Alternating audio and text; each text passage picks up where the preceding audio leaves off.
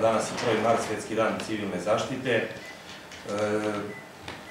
pre svega, ono što, što bi trebali svi da znamo da je cilj civilne zaštite pružanje pomoći građanima u očuvanju imovine i životne sredine u slučajevima prirodnih i izazvanih katastrofa kao i drugih vanrednih situacija.